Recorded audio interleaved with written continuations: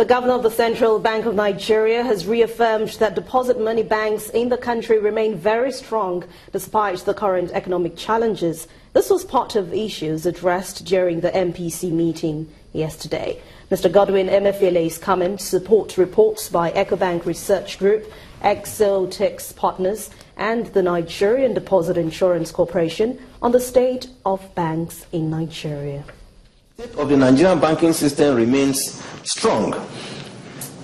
Naturally, when economies face global shocks like, like, like the entire world economy is facing today, financial institutions will have their own share of that scratch.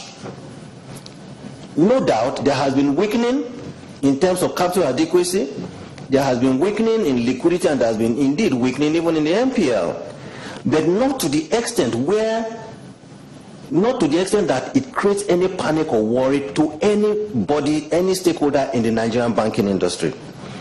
So I see this opportunity to say that the strategic health of the Nigerian banking or, Nigerian financial system remains strong at this time. There is no need for anybody to begin to panic or worry that any bank is in distress.